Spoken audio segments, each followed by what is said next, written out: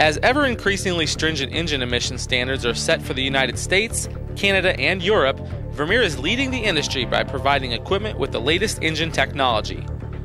Working with leading engine manufacturers allows us to ensure the same quality of products and service as you have come to expect from Vermeer. The HG6000 grinder features a CAT ACERT C18 Tier 4 interim engine specifically chosen to meet the demands of your operation as well as those set by governmental regulations.